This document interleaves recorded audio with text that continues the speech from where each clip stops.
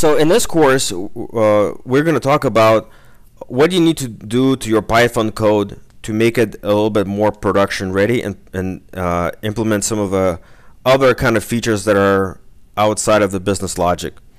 Um, and so a, lot of new programmers, they, they write their code and they put it in a file and they test it to make sure that it works. Uh, but then they don't really implement uh, anything that would make it easy to run and deploy to production. So in this course, we're going to start out with a small uh, little word counter app that we're going to write as, as, as a new programmer would, would uh, and then we're going to go through and we're going to make some changes to the app and we're going to implement some of the features that you would see in a production grade um, script or application. So in this case, um, I have a text of Alice in Wonderland in the parent directory to here.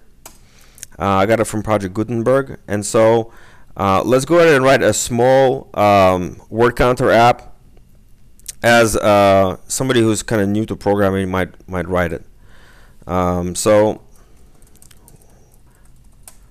we have our, our, our file here, uh, and then the the initial implementation is let's go ahead and just you know read the file. We're gonna parse it uh, line by line. We're gonna split each line on the word, and then uh, you know just count all the unique words, right? That'll be our first kind of initial implementation. So we've opened file path as f for line in have the readlines. And then uh, let's go ahead and just print it out to the screen for now. Let me go ahead and run it. Alright so we got our our cat command pretty much done. Alright, so now we're going to get the actual words.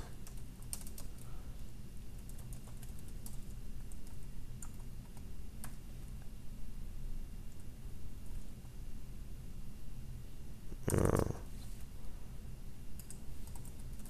and let's go ahead and print it out. Alright, and so now we have a list of uh, we have a list of of words. And we see that we have some uh, new lines. And we also have some empty lines with new lines right here. So let's go ahead and um, filter these out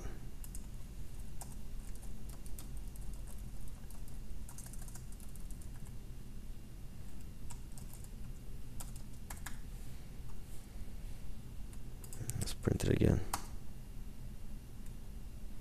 Okay, good enough. Still have some empty lists, but we don't care about that for now. And we're also not going to care about punctuations or stemming or anything like that. Um, again, this is just a, a very kind of crude example. Okay, and so now we need a data structure to keep track of our words. Um, and so we're going to do something like this for word in words. If word in words is equal to 1 else.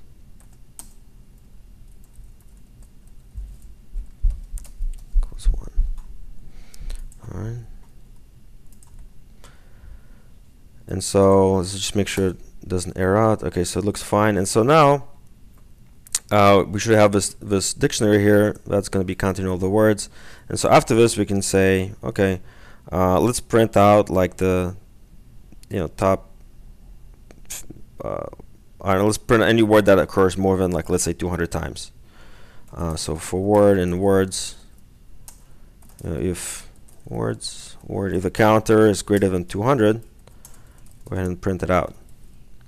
So let's see what we get. Okay. So Alice uh, and then just some of the some of the basic uh, words like off in Okay. Uh, so now let's go ahead and jazz it up a little bit. So let's say we wanted to have our top words. Uh, so these are the top words that we're going to that are in this text, and we're going to um, essentially just sort uh, that dictionary and uh, make a list out of the top terms. So sorted, where's that items? we can use uh, a lambda function here to go through all the words uh, and then just print out just the top ones so print top words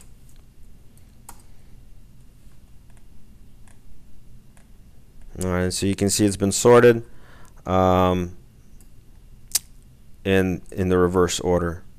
So the numbers are going from the the count is going from the smallest to the highest. So to reverse the order, we can pass reverse equals true, uh, and then if we wanted to, let's say, get the just the the top five words, um, we can go through and just ask it for the top five. So let's get what the top five are. So the empty space, and 2 and A. And so technically this program uh, works fine, right? We can, well, we, we know that we have, uh, you know, a text file, we parse it, create a data structure here, um, and then we, we, get the top five words. But there, there's some improvements that we can make here. Um, so, for example, um, a lot of this code that I, I've written here is already implemented as part of the Python standard library. And so, and that's kind of one of the mistakes and one of the points of this lesson is, you know, look into the standard library to see if you can use some of the objects and some of the stuff that's already in there. So, um, in this case, we're going to use the counter object from the collections library. So from collections, we're going to import counter. Um, and then um, what we can do with counter we can go ahead and make a new counter here or actually let's make it down here uh, and we can pass words to it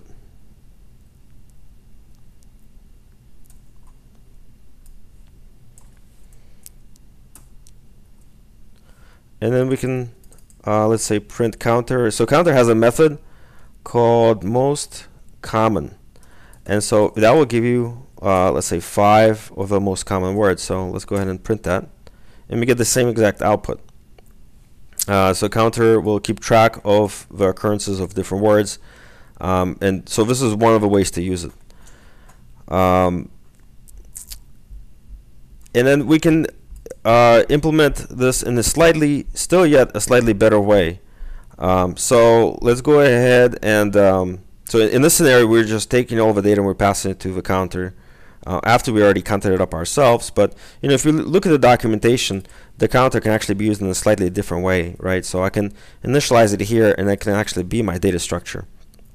So here, what I can do instead of having all of this stuff right here, I can just say counter dot update, and I can pass the words to it.